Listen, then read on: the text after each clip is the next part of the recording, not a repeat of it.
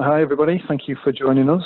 I'm going to start the uh, webinar now because we've got uh, the magic 30 plus number, so that's great. Um, so uh, I'm Stephen Darby. I'm the uh, Events and Awards Director for Aura, and I just uh, thought I'd do a very quick introduction and welcome Dan back.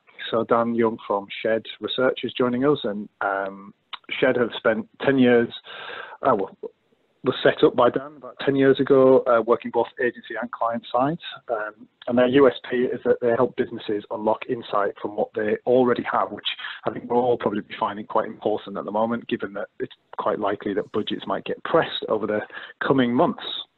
Uh, Jan, uh, Jan, Dan joined us last week uh, to do the Aura seminar, first one online as well. So uh, thanks for being willing to get involved twice in a week. That's pretty impressive.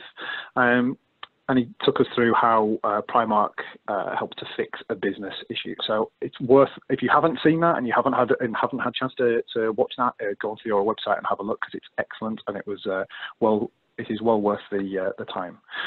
Um, so in this webinar, it's going to be Dan's going to be taking us through how to do more with less.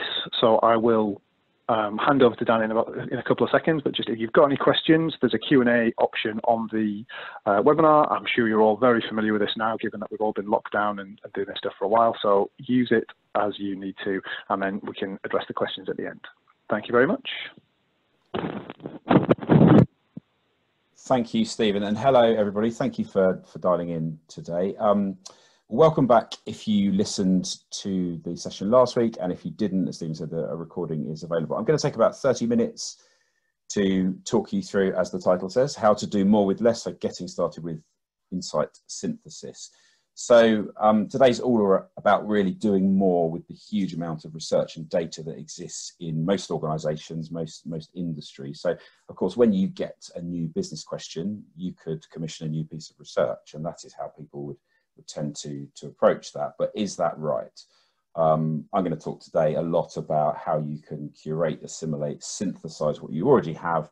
Um, for the purpose of today, I'm going to call it synthesis because otherwise I'll start using too many words and, and get myself in a, in a muddle. Um, I'm going to show you how we do it and how you can do it too. Uh, so Stephen's had been doing this for a long time and, and this is absolutely our, our specialism. So there's a lot to it. So I've tried to break it down to manageable chunks and give you tips and tools and, and sources to help you. So I'm going to talk about five things here today. So why you should synthesize, why it's a great time to start, uh, why it's not only quicker and more cost effective, but actually more robust as well. Give you four steps from a, a tried and tested process to arm you with the skills you need to, to try this yourself. Uh, we're going to talk through some of the, the tools, the software, the sources of, of further information that can help, and also the common mistakes that, that people make and how best to avoid them. And as I go, I'll give you examples of things we've done just to bring this all to life. So I'm hoping that all of you are already open to the idea of synthesis, otherwise you wouldn't have dialed in today. But you may still need convincing, or you may have people within your organization, skeptical stakeholders who you need to bring along with you. You need to convince them. They may have a preference for a new project, new data. There may be some, some tension there. So I'm going to start with really the reasons why I think synthesis is so important.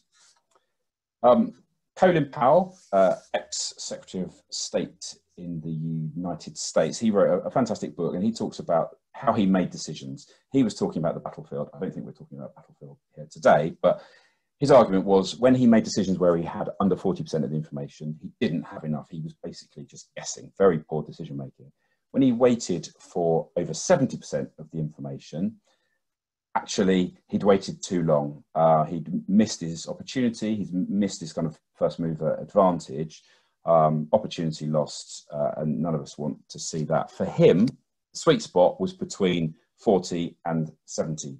So you have enough information to make the right decision, but you're not waiting too long to collect more and more information. So if we relate this to what we do, we probably have all of the insight and research within our organization or easily accessible outside our organization to come to this 40 to 70%. I mean, you may not be happy with that. You, you may uh, like to have more, maybe 80 to, to 90%.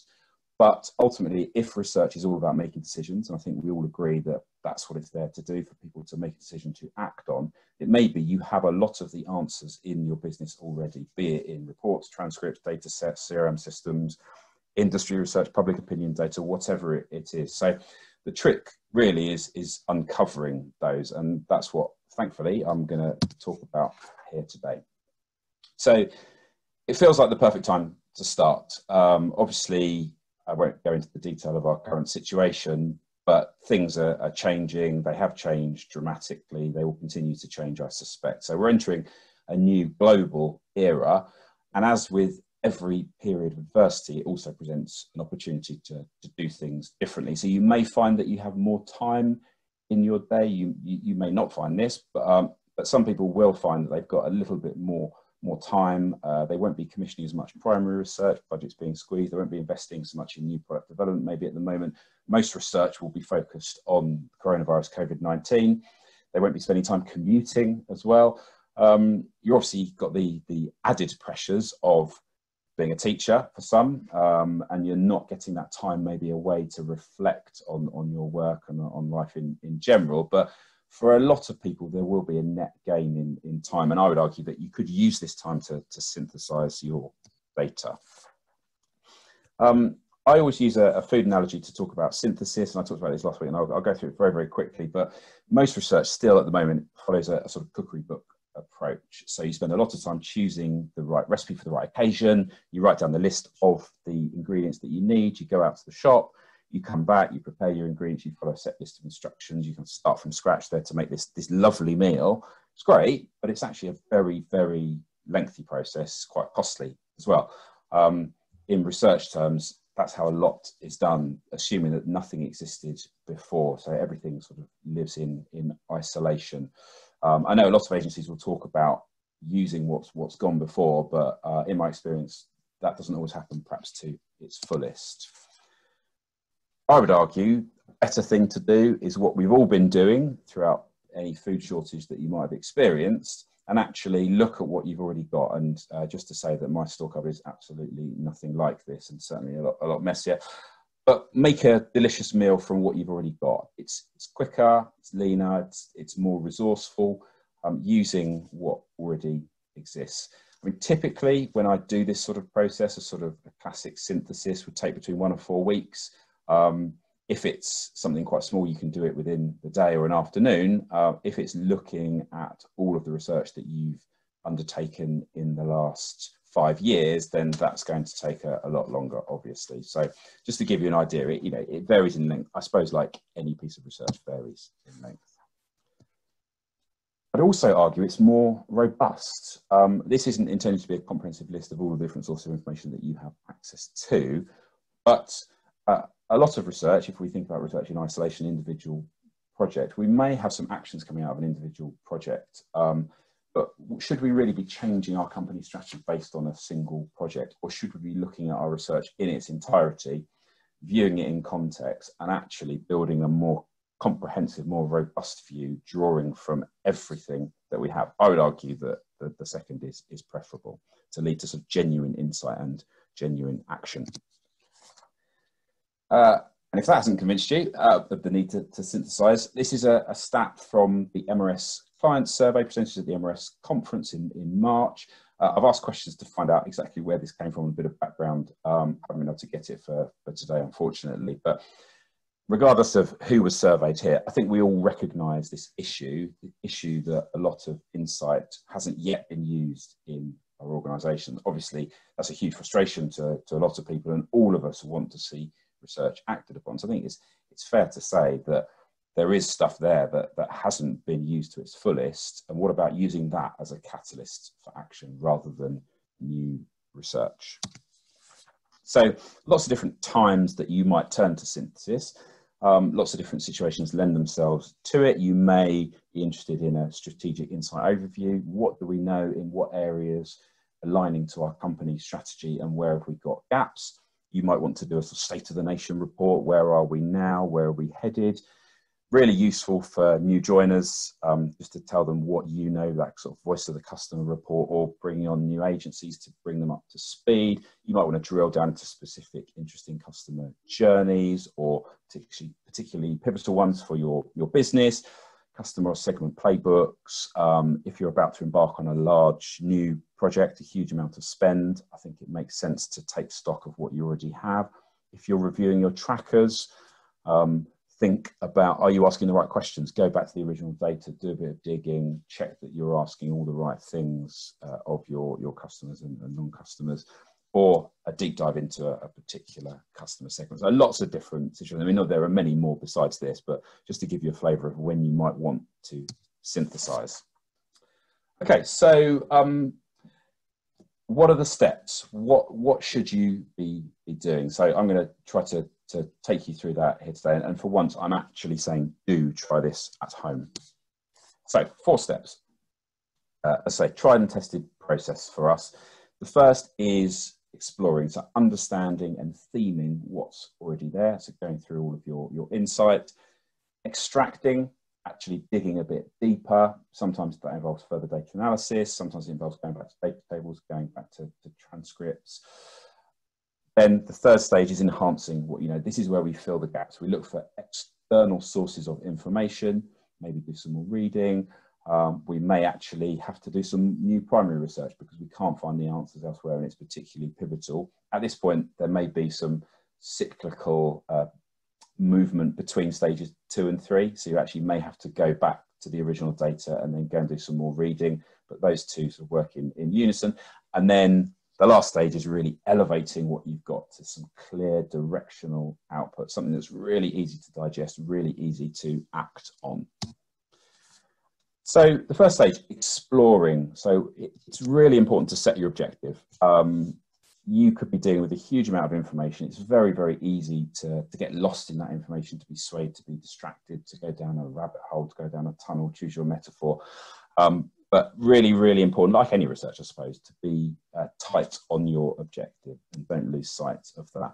I would really recommend speaking to stakeholders. You'll probably have a pretty good handle on all of the pieces of insight that are in your organisation. Stakeholders, particularly in strategy teams, they may have access to other information, maybe market sales data, um, things that could be really useful to you here. So bring them into the process, tell them what you're doing, um, and they can make this process so much better.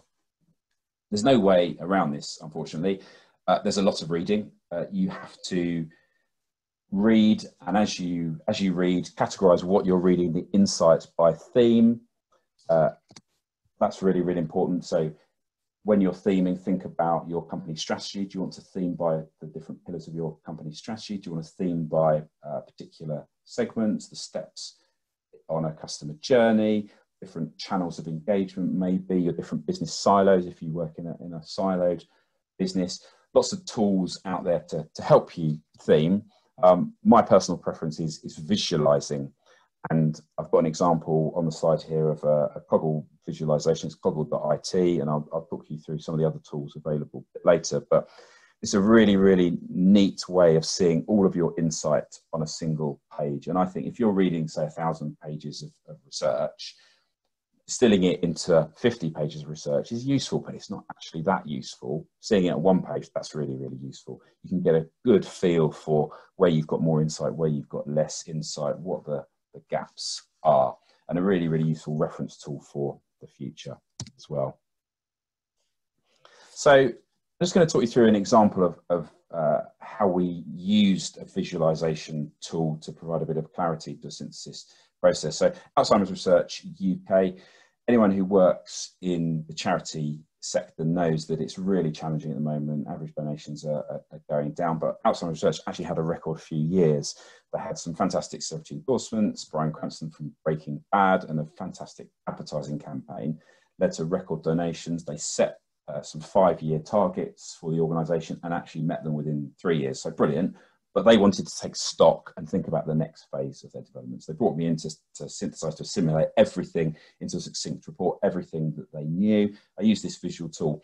And if I just go back a slide, this is actually the, the, the that, that I used. And you can see on the left-hand side, huge amount in red on one topic, that was messaging. And that's because it's incredibly hard to talk about Alzheimer's and dementia for them. So it's a degenerative disease, so uh, it's quite hard to talk about it without being too depressing. Um, but what they're involved in is actually the scientific side of that, scientific advances. Hard to talk about that without being too technical. So they were trying to strike this balance all the time. So they spent a lot of uh, time and effort researching that one topic. I was able to go in and say, actually, you've got all of the answers to how to talk about this. And in a single slide, here are the do's and don'ts of messaging. And then they were able to move on. They were able to not, not spend any more money on researching messaging because they did have those answers already. So the next stage is about extracting meaning. So you'll have lots of questions as you've been reading everything. I keep a, a log to the side. Uh, again, I do this, this visually. So questions that you've got about the, the studies, questions you've got about why certain things have been covered and why other things haven't. You have to look back at the original data. That means revisiting sometimes raw data or transcripts or videos, um, again, to answer the questions that you have. Sometimes you can't answer your questions and you actually need to do some more analysis. I've been in situations where we've uh, rerun some uh, key driver analysis that, that wasn't giving us what, what we needed from the original data set. Uh, comparing your methodologies, so not all insight is equal. So it may be that some fairly big claims made in one study, but looking at the method, actually that was a fairly small qualitative exercise and actually that insight came from one group on a wet Tuesday in North London. Should we be changing our business strategy based on that? Perhaps not.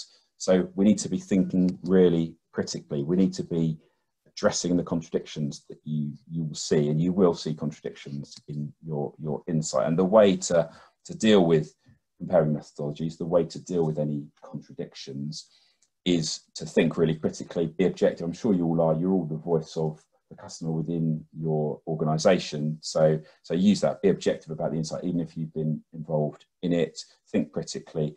And as I said with the first stage, collaboration, really, really important to be working together, sharing what you're finding with others. If you could team up with someone in a sort of buddy system within the insight team, I think that could work really, really well. So you can keep each other motivated, keep sharing what, what you're finding, and you'll actually build a much better story as a result.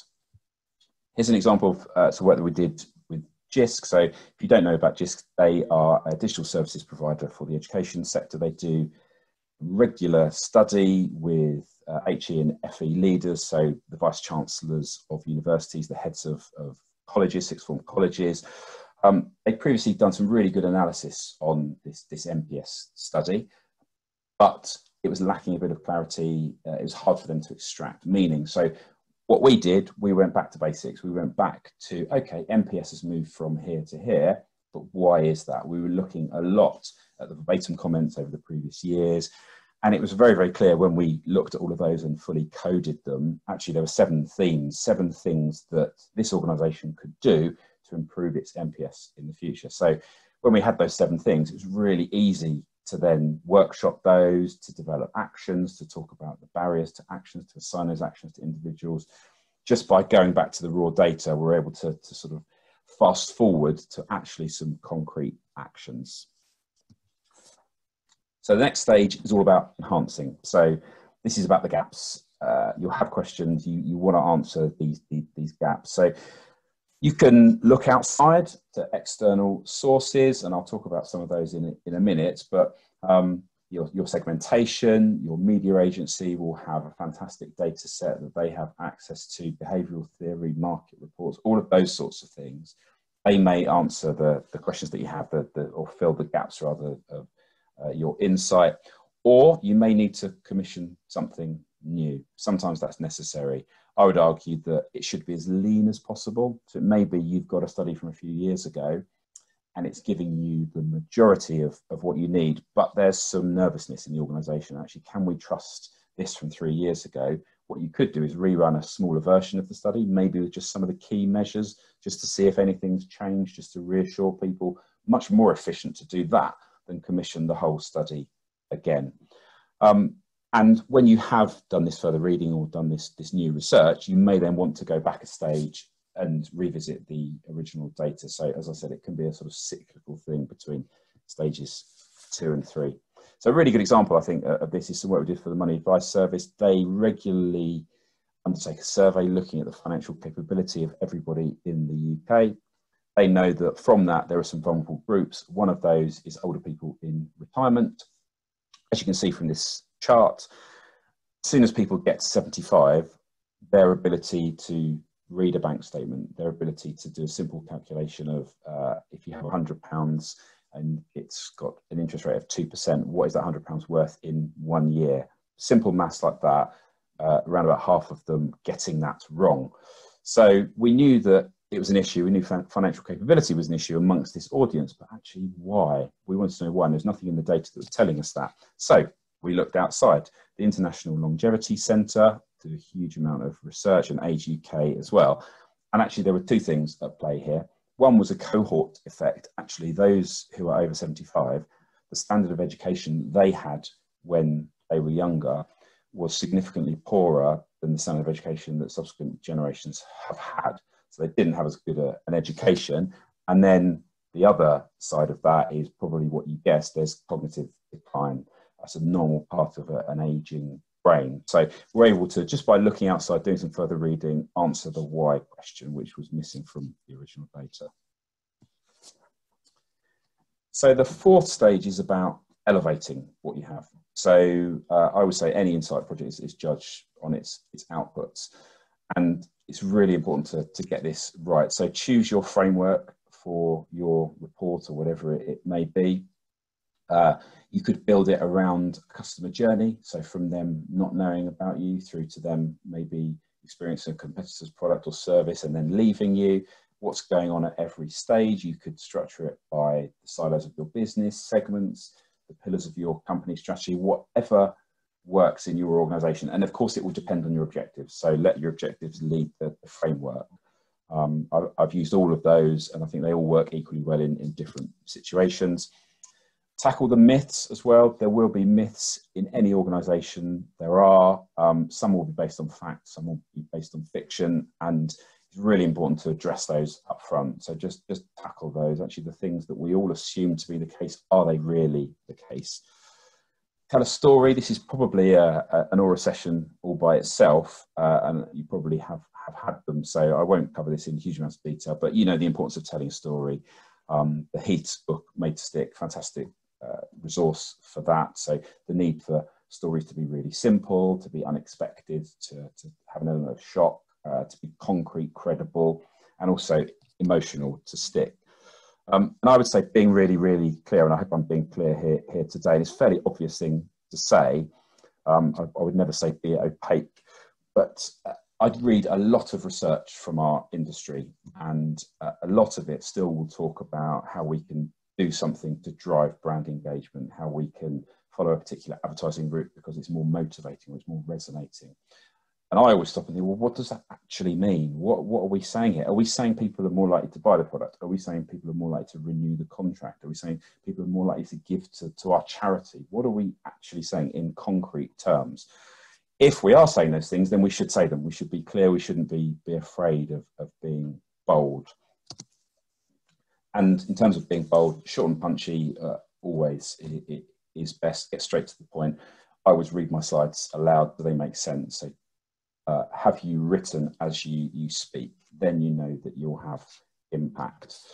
Um, and just give some clear direction. Really, really uh, important to give a, a, clear path for your stakeholders, particularly for senior stakeholders. So I'll just give you a quick example of, of how we gave that, that clear path. This is what I talked about last week, so I won't go into this in a huge amount of detail, but this is something that we did for Primark, looking at German shoppers. They had a sales issue in Germany.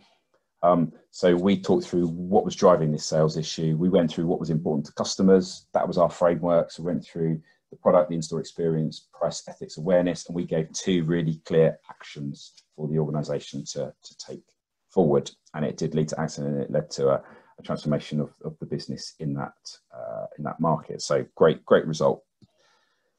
Um, another example, this is pulling together, and I'm sure you've read all of this, all of the COVID 19 research that's being pumped out by lots of different agencies, your Savantas, your Ipsos Mori, your YouGovs, your, your GfKs. They're all putting out a huge amount of research, which is fantastic because it's a, it's a free resource for, for all of us. I found I was a bit overwhelmed at the start of April by all of it, so I just pulled it together into a short six-side summary for myself more than anything, and I have shared that and happy to share with you if, if you're interested, and I will up, update that again in, in the future. So if you're going to take a screen grab of anything today, this is slide. Um, these are the stages. These are what I think you need to think about at every stage as you, you go through. So so I've put you through some some tools to help you. So um, you could do all of this in your head, obviously. Uh, if you're like me, you're going to need a bit of help, and I, I tend to favour simplicity. Helps me to order my thoughts. I put software in inverted commas here because I think the, the, main piece of software is obviously your mind, and some of these probably aren't even software, but tools to to help you. Um, SharePoint or whatever document library you have within your organisation I think you should be storing all of your insight. You should be categorizing and tagging it so that you know, as reports and research comes in, you know what it covers, what segments, what parts of the company strategy, all of those things that I've already mentioned. Um, other tools, again, you know, it looks like a, an advert for Microsoft, doesn't it? Um, other tools you could use, PowerPoint uh, and Word, just as a repository for the information. So as you get in new insight about, say, a segment, you could put it in the PowerPoint slides of that segment. You're going to make something quite unwieldy, fairly linear. Um, probably wouldn't be my preference to take that approach, but may be useful in a, in a rough form, just to order your thoughts and just to pull everything into one place. My favourite, and I mentioned it earlier, is Coggle. Uh, fantastic spider diagrams, very, very visual, very colourful, very clear. It's good enough to actually show within the business. If you want a single slide of everything that you know, you can show people that really easy to put referencing on and use hyperlinks and those sorts of things. So I think that's a that's a really good tool for you for the different themes that you've developed around your your framework of your synthesis.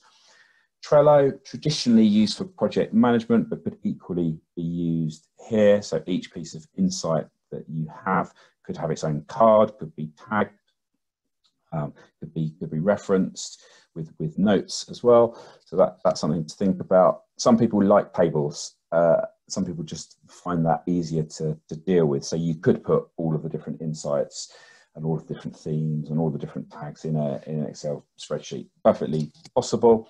Or you might be more traditional. You might like a blank piece of paper, a whiteboard, post-its, um, very very visual bit like like coggle but hard to share. And if you're collaborating with anyone particularly as we are isolated at the moment that's going to be quite tricky to, to share and collaborate. So if we're all in a meeting room together and we could dedicate a whiteboard to it for for the month i would say that could be a good way to go. At the moment maybe not.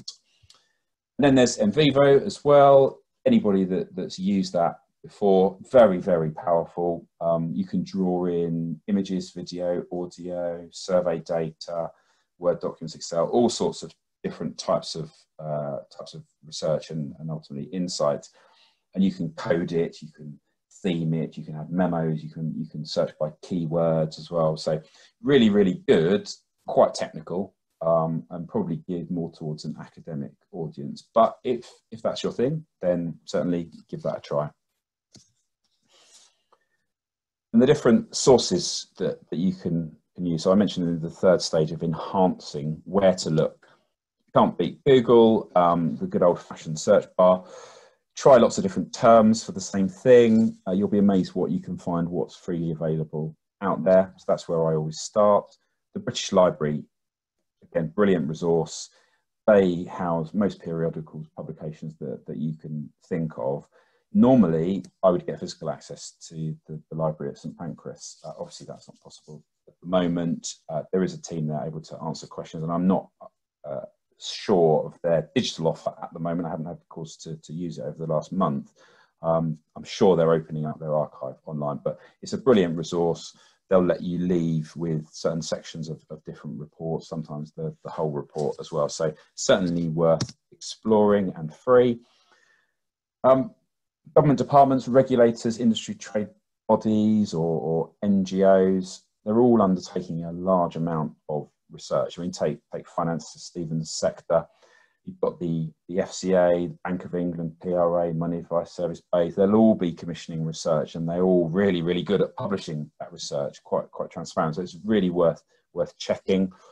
ONS, much better site than it, it used to be. Takes a lot of time to search, but there's a lot of data there.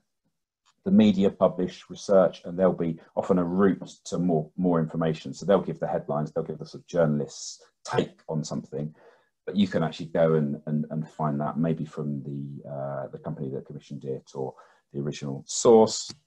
Market reports, people like Mintel producing things, you probably got access to these within your business, um, but a great, a great, great resource. British Library as well have, have a lot of those. Or our, uh, last but not least, our own beer sector. So YouGov, Ipsos Mori, all of these research houses, research factories are commissioning and publishing a huge amount of, of data and it's always worth asking them questions as well. And I've had situations where I've found some useful data, but it hasn't quite been in the format I've wanted or the age breaks that I've wanted. I've gone back, I've asked the question, and they've been more than happy to share the, the, the data tables or give me the breakdowns that I've asked for for, for nothing, which is really generous of them. So uh, I suppose the point of attending today is all about learning how to do it. It's probably worth also covering how not to do it. So what are the common mistakes that, that people make when they're trying to synthesize their research. Very easy to get lost in the data. So as I said earlier, set your objective and stick to it. Avoid those blind alleys and those rabbit holes. Easy to lose focus. So that's why collaborating and talking through what you're finding, I think is, is vital. Uh, not knowing where all of your insight is. So if you're new to the organization, you might not know where everything is, or um, you may have a, an organization where research is in pockets around the business. So before you start, spend time bringing it all together, categorizing it, tagging it, a bit like a, a librarian function. Um, I think that's really, really important because then you'll know what you've got and you'll know um, where, where to go from there. It's quite easy to be overwhelmed by all of this. Um, I know some organisations at the end of every study they do a single page summary of the report with what it covers, the method, main insights, the sort of you know tags to the strategy or segments that are that are um, covered by it. So that's really useful. So if you're if you're looking at say 50 different reports, um, reading 50 reports is a lot. Reading 50 single page summaries is not as much. Just to get your head around it, you'll have to obviously go back to the original research, but it may be a good place to start so you don't feel overwhelmed there's also forgetting where insight is. So when you do read this amount of information, it's very easy to actually uh, read something in another report and think, ah, that relates to something I read somewhere else. But where was that? You can forget. So I always keep really clear referencing. I number all of the reports at the start. So when I find an insight and I put it in Coggle, at the end in brackets, I'll have 12, page 59, and that's report 12, page 59. So I know exactly where um, to find that. So that's really, really important sometimes people don't know where to start, and this is probably the main question that people have come to me since last week and, and um, before today. Where do you start with something like this? I would recommend starting with the big pieces of research, those sort of seminal projects that really gained traction within the organisation. Or you could start chronologically. You could go back to the start and see how your insight as a team has developed over time. So it's, it's probably one of one of those two. Um, in most situations, probably start with the, the big ones, start with the ones that have had most impact. Uh, avoid PowerPoint too soon. So I said you could you could use PowerPoint as a tool to sort of chuck things into to, to sort of build your your picture. But I think the mistake that most people make is launching into PowerPoint before they're ready, before they've really built their story. Actually, it should be very clearly planned. You should know exactly what you want to say, and then the PowerPoint part should be really, really simple at the end and should be quite quick. It's a bit like a writer. You spend you should spend a lot of time planning what to write and not as much time actually writing. Um, and a lot of people don't give it the time it needs, and that's why lots of people turn to us that they they try and actually they find that with the meeting requests and with the requests for, for insight within the organization, they aren't able to, to devote the time that this needs but we're in a situation now where we are all locked away. Um, we may be in a position where we can clear our diaries, we can turn off email, whatever chat function you have within your business, and just focus on this because you do need to follow a train of thought. You need to have that sort of stream of consciousness. Um, so, so do give it the time that it needs. so I started with five things that I was going to cover. So in the spirit of symmetry, I'll leave you with five takeaways from today.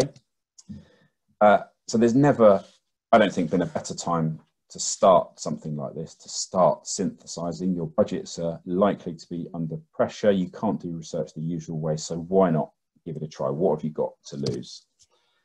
It's really important to find what works for you. So uh, you may prefer Excel, you may prefer Coggle, you may prefer Post-its, whatever works for you, and it will depend on exactly the type of synthesis that you're doing. Just try something, see if it work, works for you. That's absolutely fine but don't lose sight of your objective. Really important to keep it tight and focused, and then you'll get the best outcomes. Do work together. Um, if you are an insight team of one, find someone else within the organisation that, that you can share this with, or within your team. Do do collaborate. It will really help, particularly when you're dealing with contradictory pieces of insight, or you've got some questions about method. Just to talk it through with someone to really help build that story will will help. And lastly, as I said, give it time. Um, you, know, you, do need to, to, focus on, on this. Um, and it, it's a lot of reading and a lot of going back and a lot of cyclical thinking. So don't underestimate that. But we do have that time at the moment. So do, do devote it. Okay, thank you. Um, so if you uh, have any questions, uh, I'd be delighted to hear them. Thank you, Dan. Really interesting. Um, I think it's absolutely right to say that now is a, probably a good time to start doing this as people find themselves, even if it's just not commuting quite often. Um, well, certainly some of us have got more time. I know I'm, I'm very lucky to not have to be homeschooling, so that certainly uh, frees a little bit of time for me. So something I can definitely start doing. Um, and it's quite interesting. Uh, what I, one of the things I was particularly interested in was that you can do it with existing software and existing tools. It's not a case. I mean, there are things you can go out and get, but it's not a case of you having to be only really there to do this by downloading new stuff or purchasing new software. Whatever. Quite a lot of it is the things that we all have day to day. So thank you for that. Yeah. Um, I so everybody can, if they have questions, we use the Q&A option along the bottom to raise questions.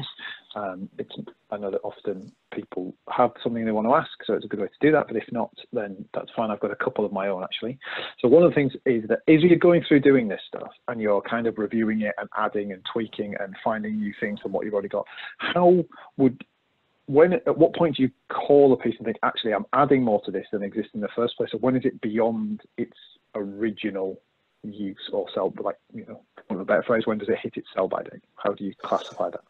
How do you, sorry, could you say that again, Stephen? So I lost you for. Yeah, so how would you quantify, if you've got a piece of research that you're adding to and you're tweaking and you're, you're finding more things out about it, is there a point where you think actually this is beyond its use now? It's beyond its sorry, yes. use? Yeah, so, so you've done a synthesis and then uh, you, you know, maybe three years later, you're looking back at that and you've, you've maybe added as you've gone. I think, I mean, ultimately that's a judgment call. It depends what's happened in your sector, how much has changed. Obviously, a lot is changing at the moment. Um, so whether we can look back at some research five years ago and make huge judgments based on the current situation, I think um, that that I probably wouldn't recommend that approach. Um, but the elements of our customer journeys, the pain points, all of those sorts of things are perfectly valid. And um, if they're they're tucked away in track and tracking data or in verbatims and they haven't been looked at, I think it's certainly a lot of value to to going through and, and looking at those. So I guess if it's not a cop out, it depends. Fine. And then another question is that so I can understand from a cost perspective, it is definitely a good idea to be able to do this uh, and to synthesize and to re to kind of use what you've got and do. But what about a time? How much time does it take if you're not doing it on the? So I understand the point about doing it yeah. all the time and continuously yeah. doing. But if you go back to fresh, how long does it take to do this on a significant piece of research versus just doing a new piece? Yes, I think um, I, I, mentioned it in the early part of the presentation that it, a short piece of synthesis, mean, you could do in an afternoon, just quickly putting together what you had on a particularly niche topic. Um, if it's a large piece of synthesis, it, it will take weeks because um, a lot to read, a lot to go through and that's you know that's dedicated time of course you may feel you don't have that and that's where people would, would turn to, to people like me to, to provide that, that service. So yes, it takes time, but it also takes time to have lots of meetings with agencies to decide on the best uh, new primary method. It also takes time to put together the brief. It takes time to, to read all of the proposals that come back and field the, the questions from agencies, to pull the sample together, to, you know, I mean, I don't, I don't want to tell you, Jos, I've, I've been in your shoes, but that, but the whole, the linear research project process also takes a lot of your time. Strip all of that away, you might be amazed how much extra time you do have. Fantastic. Thank you very much. Um, so thank you for joining us, Dan. Uh, it's really appreciated, especially doing it twice in a week. That's uh, that's really uh, dedicated. And thanks to everybody else for dialing in as well. Um, the the playback of this webinar will be available on the Aura website and our YouTube channel, and a couple of people have asked as we've been going through. Um, and the next uh, webinar will be on the 26th of May, and it's on uh, the dark art of semiotics, a great case study from Danone on how semiotics helped shape the a new product for Activia and help them tap into a new and younger audience. So as ever, you can sign up to that through the website, so please do that. And we look forward to hearing from you all and hearing and sharing it with you then. Thank you very much.